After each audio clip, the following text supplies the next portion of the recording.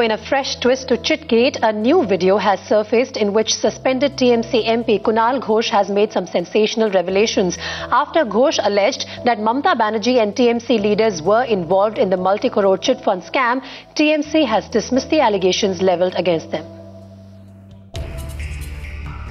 Just hours before his arrest on Saturday, a cornered Kunal Ghosh making sensational claims. Suspended TMC MP in an audio recording alleging that West Bengal Chief Minister Mamata Banerjee and the TMC leaders were involved in the chit fund scam.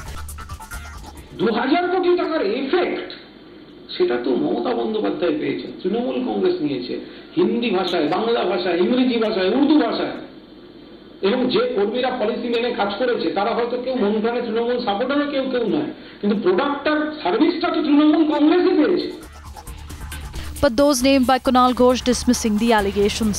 Sudipto Sen, one of the prime accused in the chit fund scam, even claiming that not one of the leaders named by the TMC MP were involved in the scam.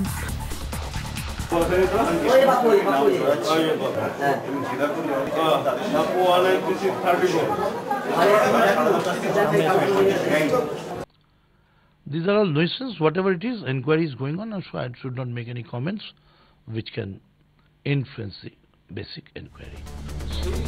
Meanwhile, a war of words has erupted over Ghosh's sensational revelations, with the left stepping up the attack on the West Bengal government, accusing it of trying to suppress the truth.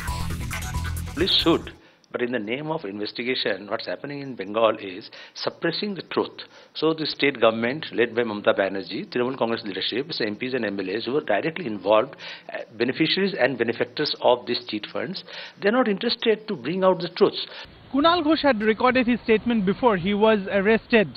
He had claimed that he had informed the investigators about the involvement of all the persons he has named in this particular CD. But the investigators did not take it seriously during the course of his interrogation.